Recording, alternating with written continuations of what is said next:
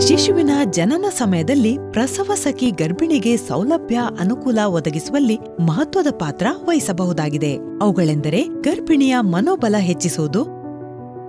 ಡಾಕ್ಟರರು ತಿಳಿಸಿದಂತೆ ಗರ್ಭಿಣಿಯ ಆಹಾರದ ಕುರಿತು ಗಮನವಹಿಸುವುದು ಆಕೆಯನ್ನು ಆರಾಮದಾಯಕ ಸ್ಥಿತಿಗೆ ತರಲು ಸಹಾಯ ಮಾಡುವುದು. ನೋವು ಸಹಿಸಲು ಗರ್ಭಿಣಿಯ ಮಾಲಿಶ್ ಮಾಡುವುದು.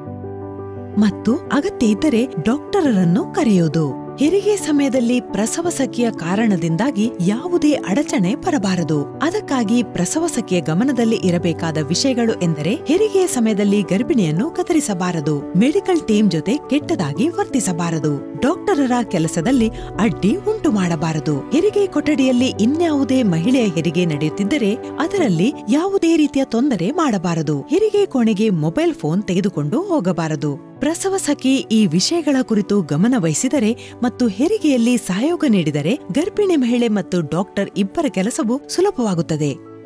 ಹೆರಿಗೆಯ ನಂತರ ಪ್ರಸವ ಸಖಿ ಶಿಶುವಿಗೆ ಹಾಲು ಕುಡಿಸಲು ತಾಯಿಗೆ ನೆರವಾಗಬೇಕು. ತಾಯಿ ಪ್ರತಿ ಎರಡು ಗಂಟೆಗೊಮ್ಮೆ ಶಿಶುವಿಗೆ ಹಾಲು ಕುಡಿಸುವುದನ್ನು ಖಚಿತಪಡಿಸಬೇಕು.